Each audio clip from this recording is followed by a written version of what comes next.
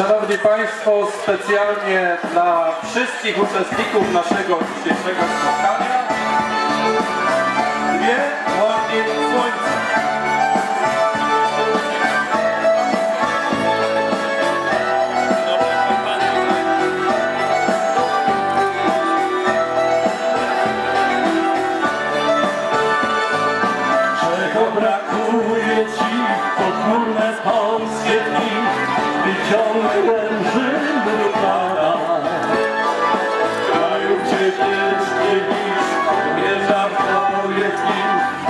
słońca cię. Co byś naprawdę chciał, gdy zimy biały szał, przymrozi cię do kości?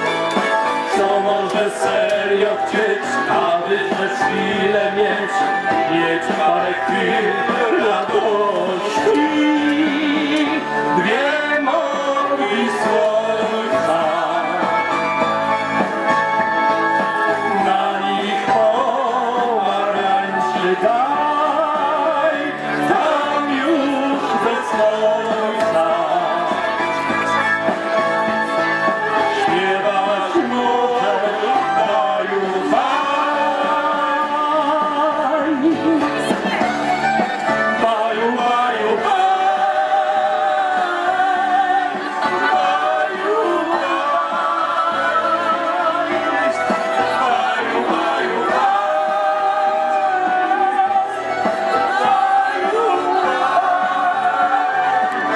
Gdzie są one, gdzie słoneczne morgi dwie, gdy wreszcie wywędruje